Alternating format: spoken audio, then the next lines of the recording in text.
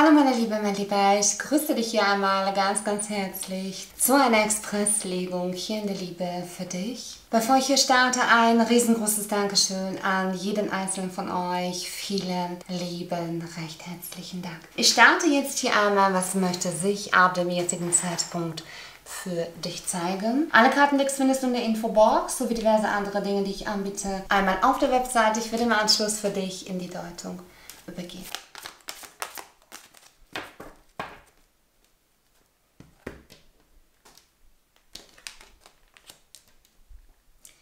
Ich werde es hier noch etwas größer stellen.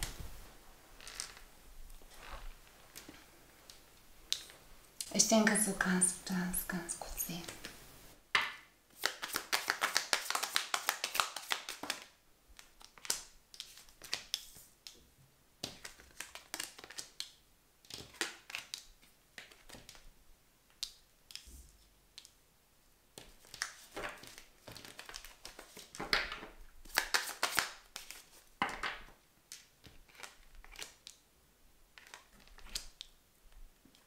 Noch eine Karte möchte raus.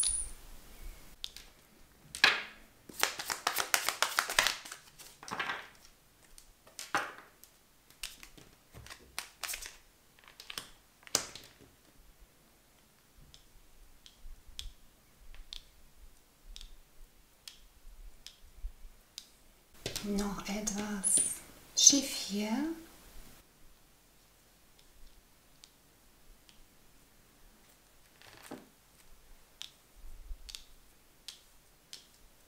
So du das ganz gut sehen.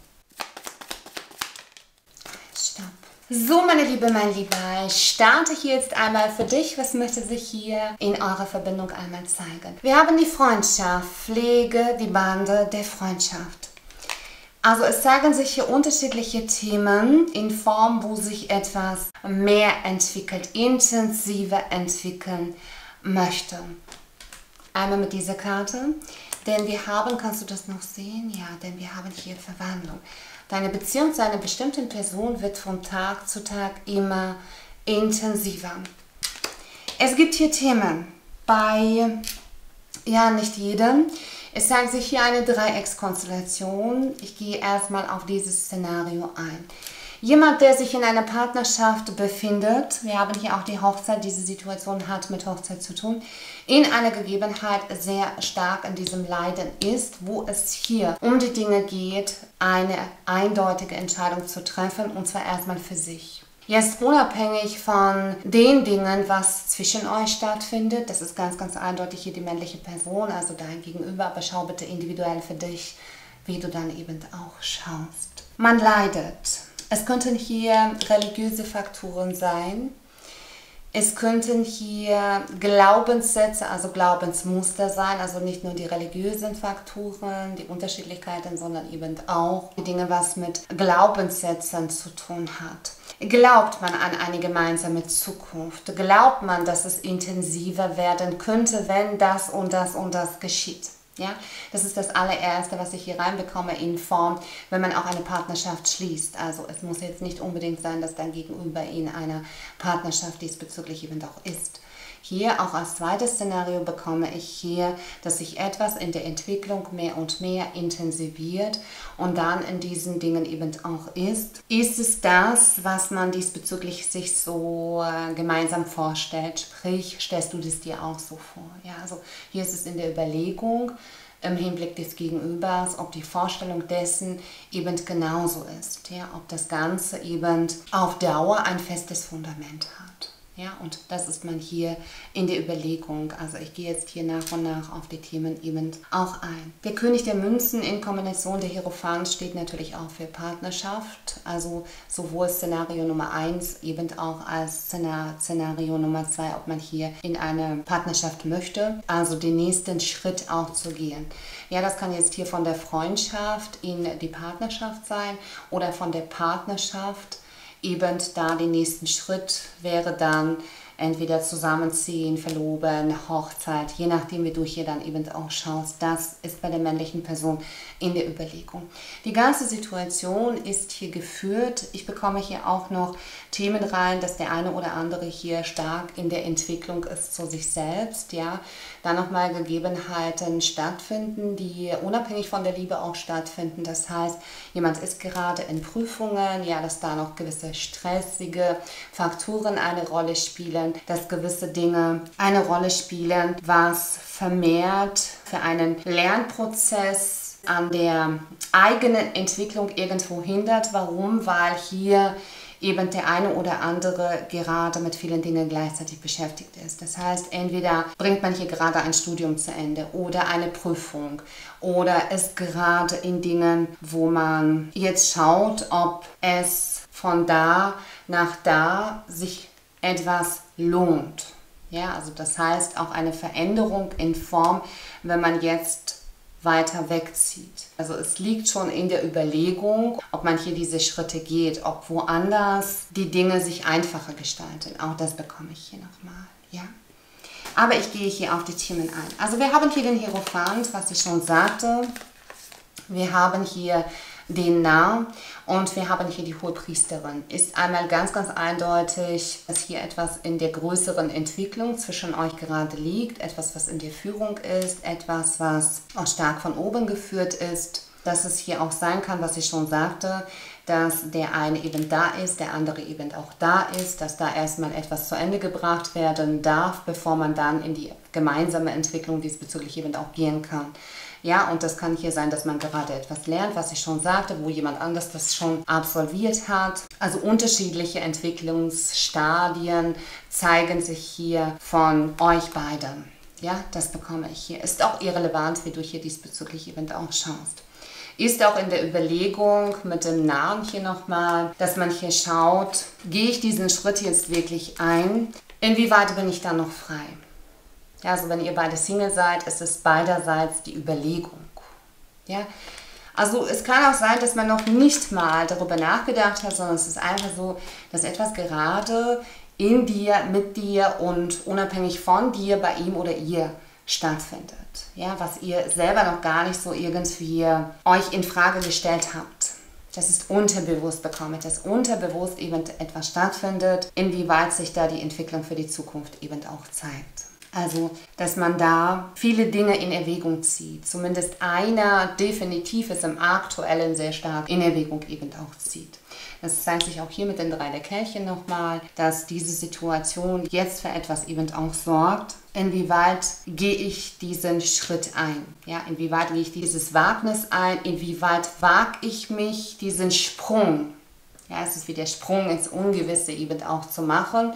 Die Gewissheit gibt dir niemand. Ja, also es ist hier wirklich so, dass dein Gegenüber hier stark in diesem Denken ist, wird dann diese Veränderung stattfinden. Darüber denkt man eben auch nach, ob man diesen Sprung jetzt wagt, gemeinsam etwas eben auch anzugehen auch natürlich Teamwork, ja, es ist definitiv auch etwas, was hier mit unterschiedlichen Dingen eben auch zu tun hat, da in Angelegenheiten. Es ist auch so, dass man leidet, hier leidet jemand für sich, erlaubt deinem Herzen und deiner Seele wieder vor Freude zu singen.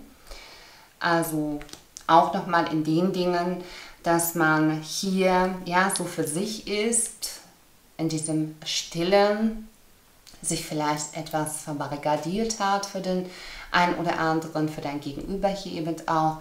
Und man denkt und denkt und denkt und denkt. Ja?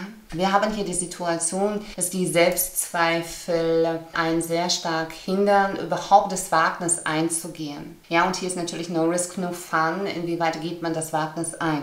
Drei der Stäbe in der Situation verschafft man sich einen Überblick. Ja, also hier kalkuliert man erst einmal. Also man zieht erstmal gewisse Schritte in Erwägung, bevor man diesen großen Schritt tut. Weil hier ist wirklich ein großer Schritt. Das ist hier, also kann alles sein. Ja, also was ich dann vorhin schon sagte, diesen großen Schritt eben auch zu gehen. Und beide sind letztendlich in dieser Gegebenheit nachzudenken, wenn dieser große Schritt dann einmal eben auch gegangen ist. Dass es bei euch beiden so ist, in der Intention und natürlich auch in der Intensivität ist hier auch nochmal ganz, ganz eindeutig gefallen. Nur sind es diese Dinge, aus diesem Zwanghaften eben auch rauszugehen. Was wäre, wenn? Ja, so zu viel in diesen Gedanken eben auch zu sein, was einen im Grunde genommen noch mehr hier hinein katapultiert. Ich werde die drei der Kelche noch klären, weil es mitunter eben auch für eine Dreieckskonstellation ist. Es kann sein, dass man hier gewisse Erlebnisse auch schon hatte, deswegen abwägt,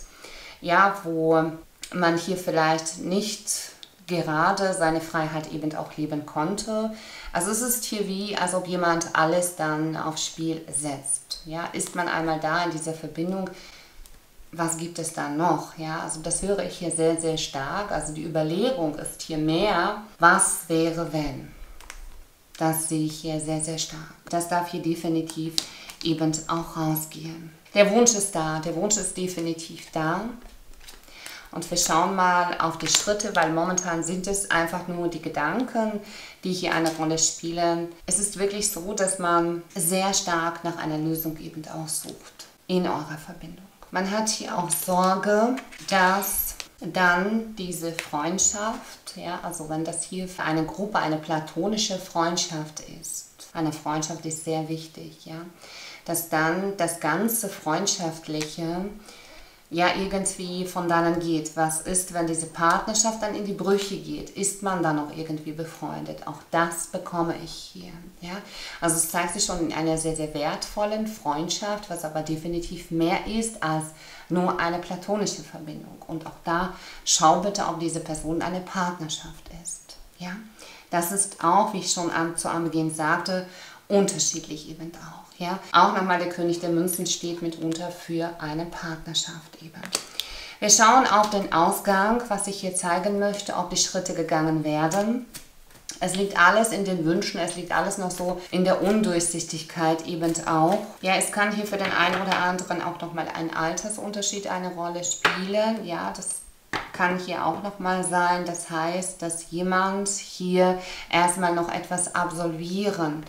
Ja? Und das ist in diesen Dingen, was ich zu Anbeginn eben auch sagte, vielleicht ist es diese Konstellation, dass man hier mit jemandem ist und es einfach eben auch nicht gelebt werden darf. Das bekomme ich hier auch nochmal. Ja, also wenn, dann ist es hier schon jemand, der dann eben darüber auch sehr stark nachdenkt.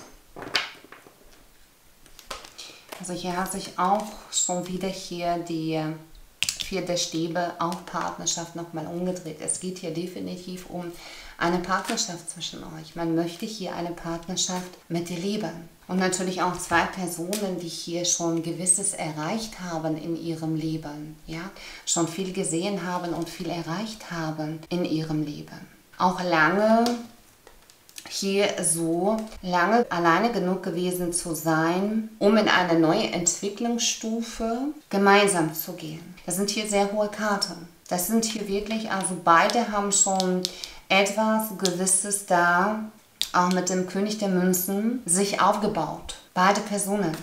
Ja, und mit der hohen Priesterin liegt es auch alles im Verborgenen, im Geheimen. Ja, dass dein Gegenüber, also die männliche Person, da über die Dinge eben auch nachdenkt, wovon du dann eben auch nichts weißt. Oder auch den Ausweg aus einer momentanen Partnerschaft da eben auch versucht rauszugehen. Also du hast es hier auch mit niemandem zu tun, der irgendwie mit einer Maske unterwegs ist. Nein, definitiv nicht.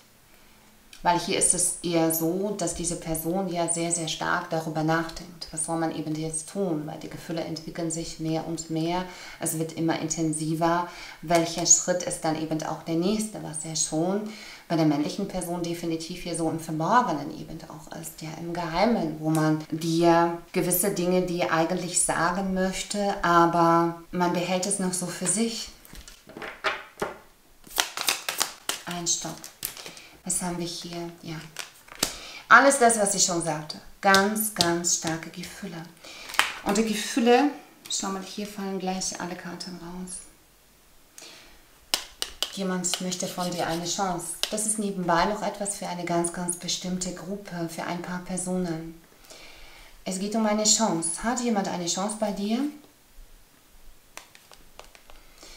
Starke Energien hier, sehr starke Energien. Hier kommt viel Kommunikation. Eine Kommunikation, die nicht zu bremsen ist. Ja, also hier wird etwas eintreten, was nicht mehr zu bremsen ist, weil die Gefühle sehr stark sind. Hier sind es ganz, ganz starke Gefühle zwischen euch. Und das wird man dir sagen. Die Kommunikation ist auf dem Weg. Ja? Es ist nur wichtig, dass du hier diese Person einfach etwas nachdenken lässt, weil es ist ja schon da. Diese Gefühle sind so intensiv. Es ist ja schon da. Du brauchst gar nichts zu tun. Absolut gar nichts. Es ist ja so oder so geführt. Ja, und in den Dingen, wer hier mit dir das intensivieren möchte, wird es tun. Das ist hier ohne Frage. Das geschieht hier definitiv. Und ihr geht hier in eine Partnerschaft. Das liegt hier auch. Ihr werdet hier in eine Partnerschaft gehen, weil diese Person einfach zu starke Gefühle für dich hat. Zu, zu starke. So, meine Liebe, mein Lieber. Ihr werdet hier gemeinsam etwas aufbauen. Es wird nicht einfach, aber ihr werdet es meistern. Wichtig ist nur, dass ihr beide da gemeinsam bereit seid und nicht in dieser Position eben auch verweilt, zu viel nachdenkt. Ja, das ist hier no risk, no fun. Also das wird man hier definitiv in deine Richtung eingehen. So, meine Liebe, mein Lieber. Ich wünsche dir hiermit alles, alles Liebe, eine wundervolle Zeit, für dich umarmt. Bis dahin.